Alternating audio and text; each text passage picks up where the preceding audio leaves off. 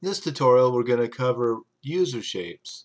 Now user shapes are a shape that a, a person can place and they can they can create different items out of it.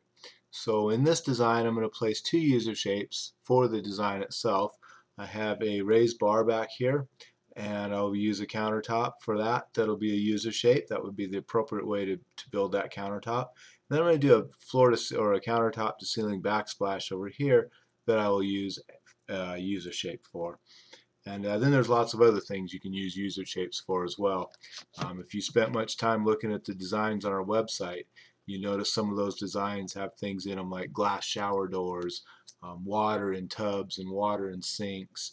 Um, those items were made using user shapes. So there's a lot of things you can do with user shapes. Now, user shapes can be found in your Architectural Elements catalog. Um, there's also a shortcut to find them. I don't like to have to change catalogs to come find my user shapes.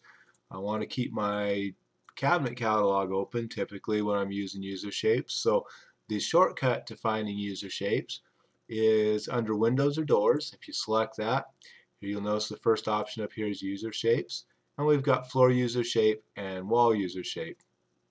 Now the difference between a floor user shape and a wall user shape is floor user shape you can drag and drop out on the floor.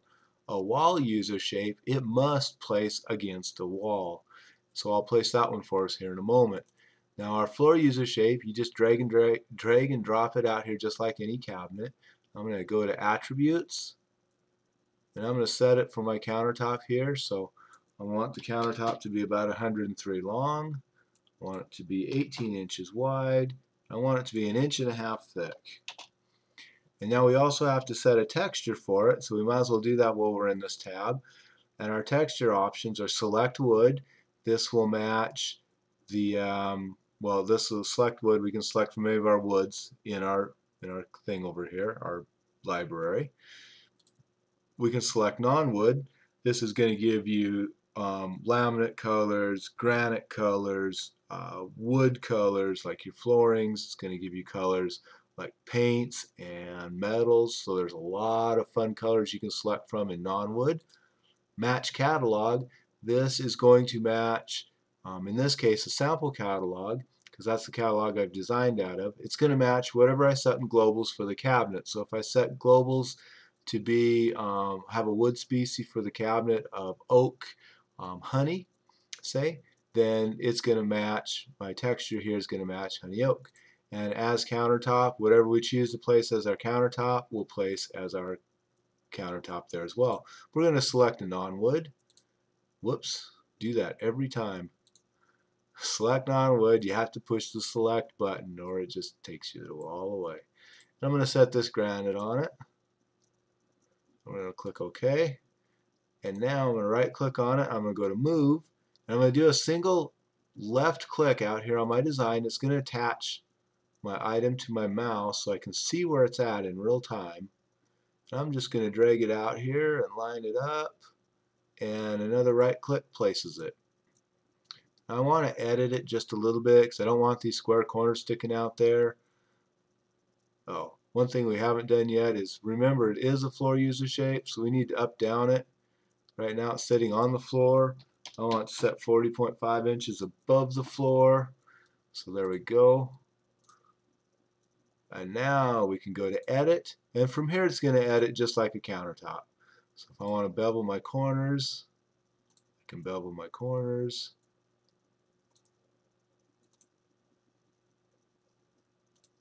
There we go. I've got a couple nice beveled corners out there. And to get out of the uh, edit mode, just like countertop, you can hit the select button or you can hit escape on your keyboard. I'm just going to scroll down. Now let's place our wall user shape. so we can drag this guy and drop it right out here, but if I do that, it's going to drop it behind one of these cabinets and I'm not going to be able to find it. So what I want to do is build an elevation for that wall. I've already got one built up here. Zoom out just a little bit on this elevation so I can see what's going on. There we go. Have a drunk mouse today.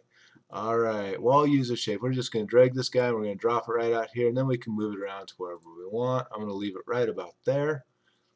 And I am going to zoom in just a little bit. We're going to right click. We're going to go to edit. We're going to choose the right item first. Then we're going to go to edit. There we go. And again, it is just like countertops, so just click and drag sides out here to the width we want. Same with this guy. Scroll up a little bit because I want them to go all the way to the ceiling. There we go. Now escape or select button. And again, we have to set our texture to it. So attributes, texture. I'm going to select a non-wood. And I'm going to come down here. We're going to set something a little different. Let's do a stone. Uh, we'll do a cut stone. And let's see what we got here. Let's do something along the lines of eh, cut stone number 14 looks good. Okay, so there's our two user shapes. Let's close this out. Create a 3D and see what they look like. And so here's our 3D. So we got a nice backsplash there. As we rotate a little bit, that wall will come back into play. We'll have a nice overhang there. Zoom out a little bit.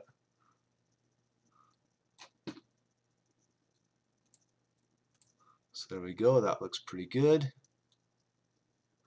Now let's go back. We're just going to play with user shapes just a little bit to see some of the other things that we can do with them. So I'm going to close that off. We're going to use floor user shapes for most of these because again the wall user shape is stuck up there on the wall. It tends to be kind of worthless sometimes unless you're just using something on the wall. Um, we want to go to, in this case I'm going to edit it first. I'm going to go to round, make that 12. Whoops, what did that do? Escape, I screwed something up. Alright round edit round 12 there we go. Round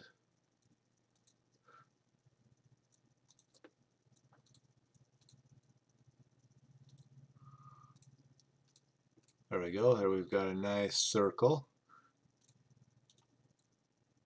Now let's do some attributes to this guy. Let's make it Come on. 96 inches tall. Let's put a texture on here. Um, select a non-wood. Hey, did you see that? I hit the select button this time instead. Uh, let's do, uh, let's just make this one. That'll work. That's an ugly color. Oh, well, that'll work ugly or not, it'll work. Okay, and let's do another one out here. And this one, I'm going to do it on this side of the kitchen, keep them separated. And let's do attributes. Let's make it one. 36. Am I going the right direction? Nope, 36 one. Sometimes I gotta think about it. And let's make it just 84. Texture, select a non-wood. Paint, palette blue. We'll take like this guy. There we go. And now I'm going to change the transparency on this thing. I'm going to set the transparency at 75%.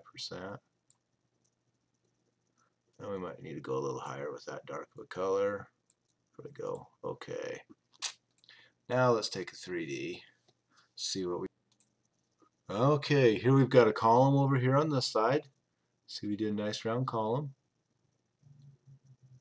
And over here, this is how you create glass for a shower door or whatever you want. I, we've done some really cool glass countertops with them. Just changing that transparency allows you to see through it. So I set it at oh, probably about 80%. I could have kept it a little bit more probably. 75 might have been good. Give it a little harder to see through.